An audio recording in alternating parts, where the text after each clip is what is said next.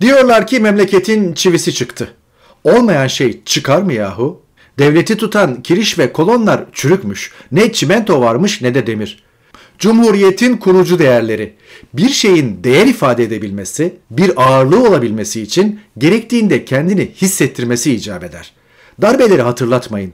Farklı tepişmelerin kimi bahanelerle makyajlanıp topluma kitlenmesidir askeri darbeler. Ve her darbe milletin canına okumuştur.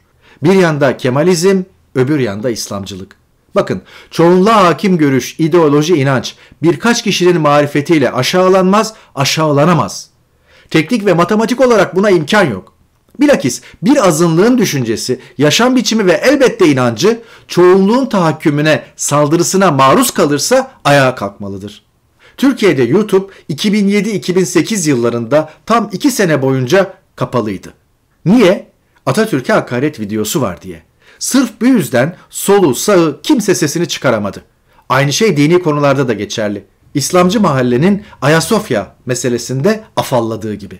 Haklıysanız esaslı sorulara cevabınızı verir, taşı gediğine oturtursunuz. Değilse bir açığınız olduğu düşünülür. Korkularla çevrili olduğunuz anlaşılır. İtikadınızın zayıflığı ve çelimsizliği kendini ele verir. Türkiye bir kulvardan diğerine savruluyor. Erdoğan kendi tabanını tutamıyor onu manivela gibi kullanarak saha temizliği yapıp berbat rejimin taşlarını döşeyenler şimdi ondan kurtulmanın zamanının geldiğini düşünüyorlar. Bunu ben biliyorsam Erdoğan da biliyor elbette. Fakat manivela kimin başına patlayacak onu bilmiyorum. Bildiğim şey şu. Erdoğan 50 artı 1 için kapı kapı dolaşıyor, devlet olanaklarıyla tuzak üstüne tuzak kuruyor. Ortalık manivela olmaya elverişli adaydan geçilmiyor.